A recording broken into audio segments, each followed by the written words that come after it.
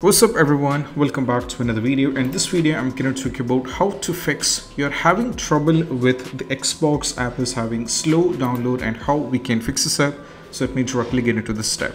So the first and foremost step is all about we just need to go over here, search for the settings over here, click on the settings and right now we need to navigate to Windows Update over here at the bottom and right now what we need to do is keep scrolling down and over here as you can see you'll be having options over, over here for advanced option. Just click on the advanced option. And if you scroll down under the additional options you can see there is an option called delivery optimization. Select this one. And right now what we need to do is as you can see right now we have options like you know we have download options. And right now this has been set into percentage of uh, measured bandwidth. So you have to change this to absolute bandwidth. And this is what you have to do as the first and foremost step. That's what you have to try. And it's an important one.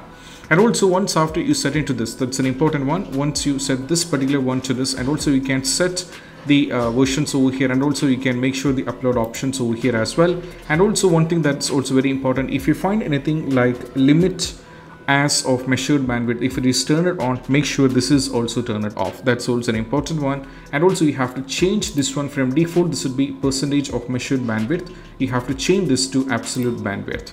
Right now once afterward just go back over here in the apps now we need to navigate to the installer apps. And now we need to search over here for the Xbox. And right now if you find the Xbox click on three dot menu over here and you have to go to advanced option. And right now we need to scroll down and navigate to repair options over here under the reset. We have options like repair and reset.